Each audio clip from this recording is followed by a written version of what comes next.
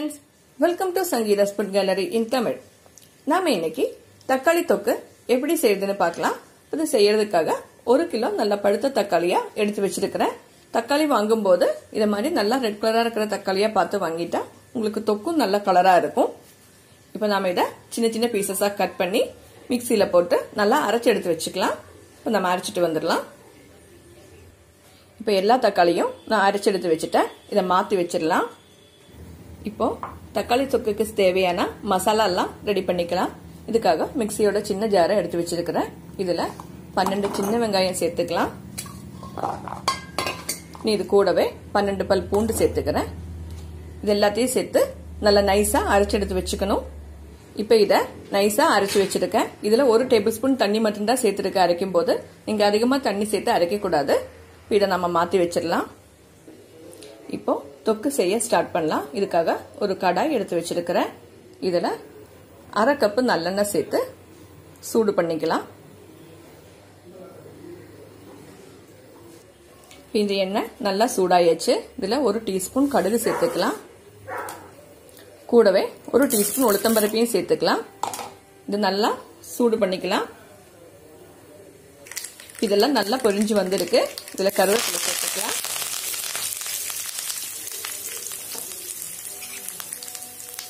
இதில் நம்ம அரைச்சி வச்சிருக்கிற இந்த வெங்காய பேஸ்ட்டை சேர்த்துக்கலாம்.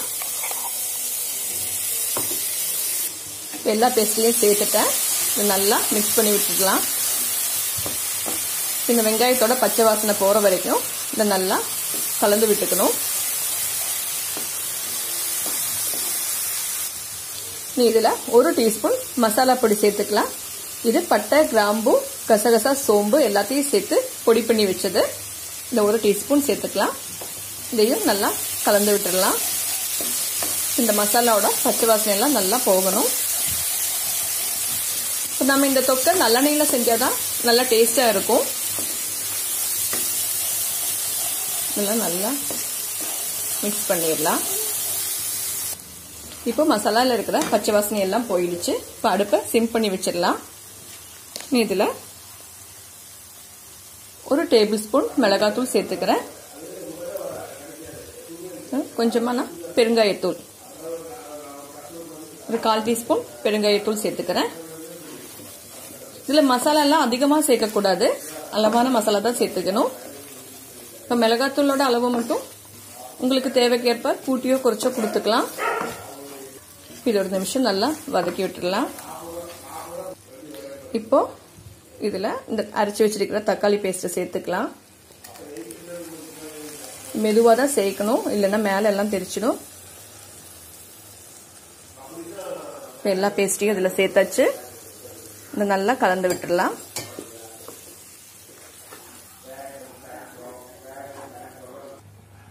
இதில் தேவையான அளவு உப்பு சேர்த்துக்கலாம். இதையும் நல்லா கலந்து விட்டுடலாம். இது எல்லாத்தையும் சேர்த்து நல்லா கலந்து விட்டாச்சு. இப்போ அடுப்பை மீடியம் ஃப்ளேமில் வச்சுக்கலாம். நீ ஒரு மூடி போட்டு இதை வேக வச்சிடலாம். இதுலேருந்து தண்ணி தக்காளியில் இருக்கிற தண்ணி எல்லாம் வற்றி நல்லா எண்ணெய் பிரிஞ்சு வர வரைக்கும் இதை நம்ம வேக வைக்கணும். இப்போ நம்ம மூடி போட்டு வேக விட்டுடலாம். இதை ஓப்பன் பண்ணி பார்த்துக்கலாம். இப்போ தக்காளியில் இருக்கிற தண்ணியெல்லாம் நல்லா வத்தி வர ஆரம்பிச்சிருக்கு. இதை நாம் கிளறி விட்டுடலாம். இதை அடிக்கடி கிளறி விட்டுட்டே தான் இருக்கணும். இது செய்ய கொஞ்சம் டைம் ஆகும். நீங்கள் தக்காளி தொக்கு செய்யும்போது எப்போவுமே கொஞ்சம் பெரிய பாத்திரமா பார்த்து எடுத்துக்கோங்க.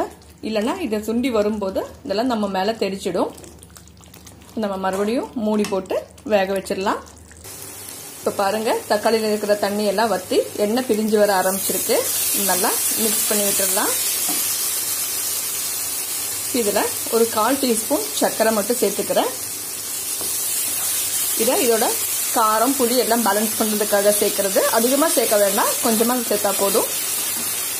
நல்லா மிக்ஸ் பண்ணிடலாம். இன்னும் நல்லா பிரிஞ்சு வரணும். அது வரைக்கும் நாம் இதை வேக வச்சுக்கணும். இப்போ மறுபடியும் மூடி போட்டு கொஞ்சம் நேரம் கூட வேக வச்சிடலாம். இப்போ பாருங்கள் தக்காளியில் இருக்கிற எண்ணெயெல்லாம் நல்லா பிரிஞ்சு வந்திருக்கு. இப்போ தக்காளியும் நல்லா சுருண்டு வர ஆரம்பிச்சிருக்கு. இப்போ நம்ம தக்காளி தொக்கு ரெடி ஆயிடுச்சு.